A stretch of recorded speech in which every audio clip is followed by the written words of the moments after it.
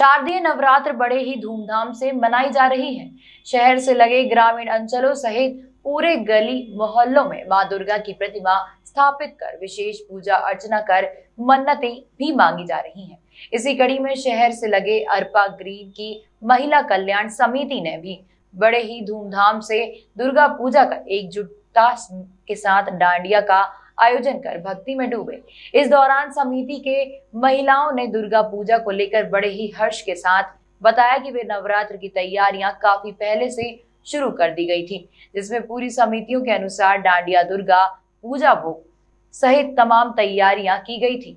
इसी तरह गरबा रास का भी शारदीय नवरात्र पर मग्न होते हुए भक्ति के गीतों में लुफ्त उठाया गया। शर्मा ग्रीन कॉलोनी से, महिला क्वींस की तरफ़ से।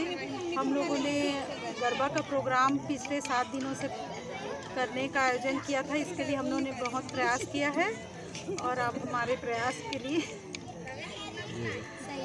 क्या कहना चाहिए हमारे प्रयास में सभी शामिल हैं और हम चाहते हैं हमारा प्रोग्राम सफल हो और हम बहुत दिनों से इसके लिए तैयारी में थे। नवरात्रि अरबा ग्रीन्स कल्याण महिला समिति की ओर से हम सब गरबा का आयोजन आज किया है।